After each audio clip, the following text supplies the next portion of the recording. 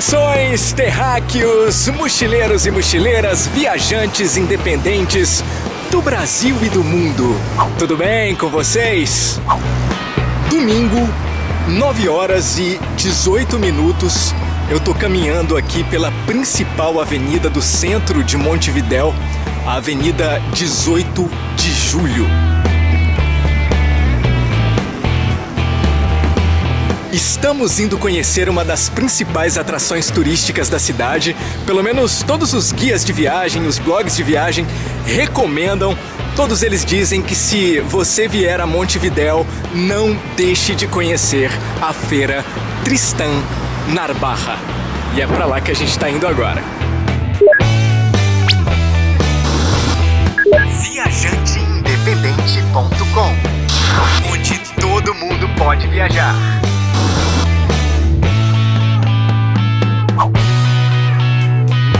No caminho para a feira, eu acabei passando por acaso pela famosa Fonte dos Cadeados, um dos pontos turísticos dessa parte do centro da cidade, mas foi bem rapidinho mesmo. Eu parei só para registrar essas imagens aqui para vocês. Chegamos, galera. Anotem aí o endereço, é bem fácil de encontrar. O esquindolelê todo começa ali daquele lado da rua, ó. É exatamente a esquina da Avenida 18 de Julho com a Tristan Narbarra. Tem as plaquinhas aqui. A partir desse ponto, você pode ir andando aqui direto na Tristan Narbarra. Pode caminhar com rumo ignorado, sem medo de ser feliz, porque a feira é grande.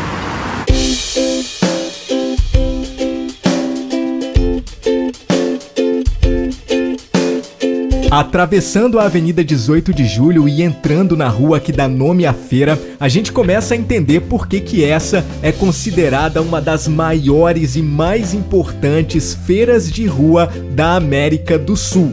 O lugar funciona religiosamente todos os domingos desde 1909 é um gigantesco mercado de pulgas que atualmente ocupa não só a rua Tristan Narbarra, mas dezenas de ruas do entorno.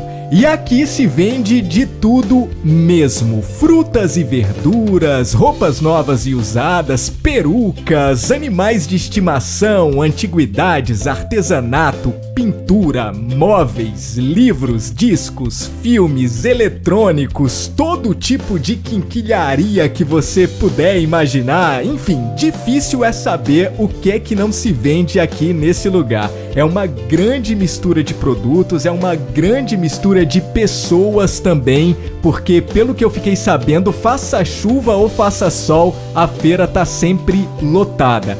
Com certeza é uma experiência imperdível para quem quer conhecer um dos lugares mais tradicionais de Montevidéu e interagir com a cultura uruguaia. No entanto, se você não gosta de muvuca, se você não gosta de bagunça, não venha para cá porque sem dúvida nenhuma você vai odiar a feira Tristan Narbarra.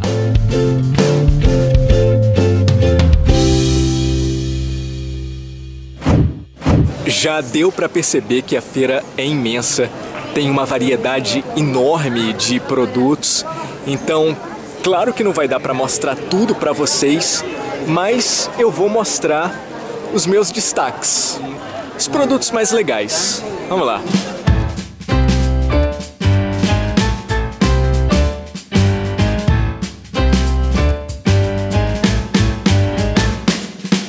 Bom, em primeiro lugar, eu destacaria a grande quantidade de livros e revistas que é possível encontrar por aqui. Se você gosta de leitura, como eu, a dica é ir direto para a rua Pai Sandu, que fica bem ao lado da Faculdade de Psicologia. Aqui todo o espaço é ocupado por vendedores de livros. Você vai encontrar livros novos e usados dos mais diversos gêneros, clássicos da literatura, livros infantis, científicos, publicações raras e tudo mais que você puder imaginar. Olha só isso aqui que interessante. Ah, e também existem alguns sebos nas proximidades. E o melhor é que os preços aqui são super em conta. Nessa barraquinha, por exemplo, tava rolando uma promoção. Qualquer livro custava 10 pesos, ou seja, R$ 1,15. Um outro destaque da feira são as antiguidades. Em várias ruas você vai encontrar barraquinhas como essa daqui, cheia de objetos do tempo da sua avó.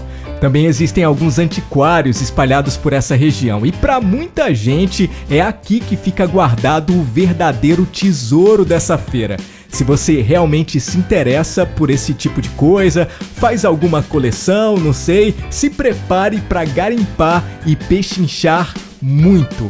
Aliás, nesse quesito antiguidades, a Feira Tristan Narbarra lembra um pouco a Feira de San Telmo, em Buenos Aires. E se você gosta desse tipo de programa, vai encontrar o link para o nosso vídeo gravado lá na Feira de San Telmo no card e na descrição aqui desse vídeo.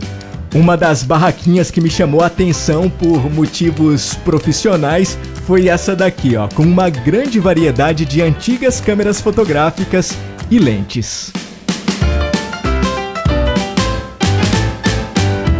Uma outra coisa que me lembrou a Feira de Santelmo foi essa banda aqui, ó, tocando clássicos do rock and roll no meio da rua. Isso realmente é muito legal, velho.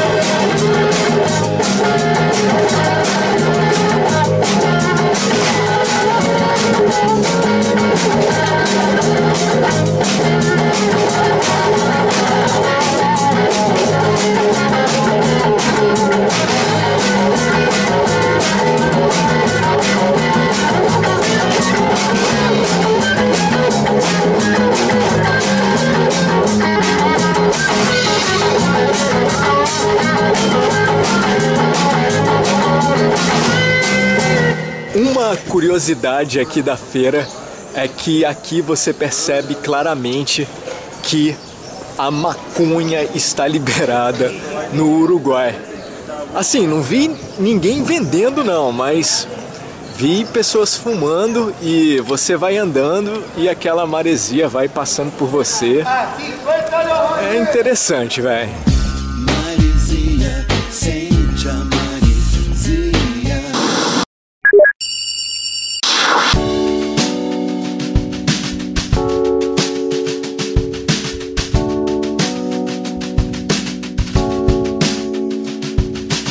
A parte mais estranha, meio deprimente dessa feira é que em algumas ruas você tem a impressão de que o cara fez aquela faxina em casa, descobriu um monte de quinquilharia que ele não queria mais e então veio vender tudo aqui para fazer uma grana extra.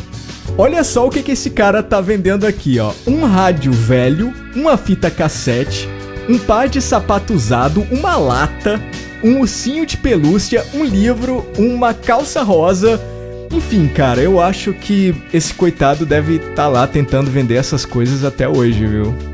Uma coisa que eu senti falta aqui na feira é um lugarzinho para você tomar uma cerveja ou tomar um café. Enfim, um lugarzinho para você sentar e dar uma descansada. Realmente não tem. Eu já tô andando aqui há uns 30 minutos e devo ter passado por uns dois ou três cafés no máximo, cafés bem pequenininhos. Então, fica aqui a minha sugestão para os organizadores da feira e para o povo uruguaio de maneira geral, né?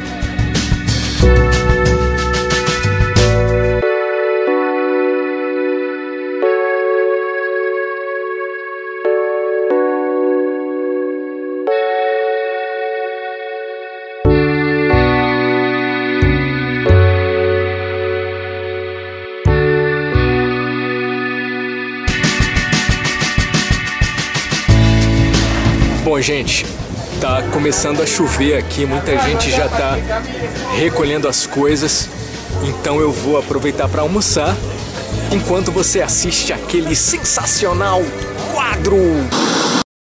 Quem avisa amigo é. Primeiro, Nada de salto alto ou sapato apertado. Venha com roupa e tênis confortáveis porque você vai caminhar bastante. Esqueça o cartão de crédito, porque aqui você só vai conseguir usar dinheiro vivo e quanto mais trocado, melhor. Realmente não existe nenhum lugarzinho bacana para lanchar nas imediações da feira, portanto, é uma boa ideia trazer alguma coisa na bolsa ou na mochila. Não que a feira seja perigosa, mas é sempre bom andar atento em lugares de grande aglomeração de turistas. E por favor, não compre coelhinhos ou qualquer animalzinho de estimação. Você estaria incentivando o comércio de animais, que é um problema, é um negócio muito ruim mesmo. Então, não faz isso não, cara. Já tô voltando pro hostel. Eu acho que a feira vai acabar um pouco mais cedo hoje por conta da chuva. Mas enfim, meu, se você gostou desse vídeo, deixa aí aquele joinha. Tem mais vídeos sobre o Uruguai lá no canal, viu? Dá uma olhada lá que tem vários vídeos legais. Se você ainda não está inscrito no nosso canal, se inscreva e segue a gente nas redes sociais para você ter informações das nossas trips com mais frequência. Grande abraço para todo mundo, boa viagem. Tchau!